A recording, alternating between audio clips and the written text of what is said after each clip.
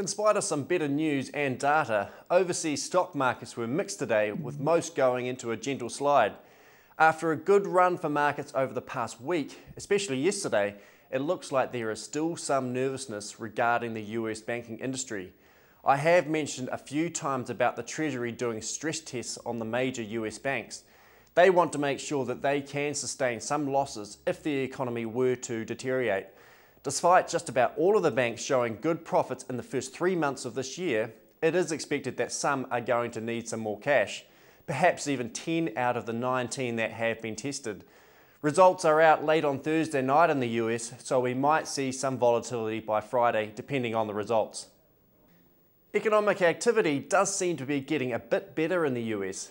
Manufacturing has touched off its lows over the past two months, so we are looking for some continued strength in this area. Consumer confidence has also seen a boost over the past month, which means that people may get out and start spending again soon. While these data flows indicate that things are turning towards the positive, they are still in contraction. A little nest negative is a good way to describe it. Nevertheless, positive developments in the US, the world's largest economy, is important to the global recovery, so I will continue providing updates on this.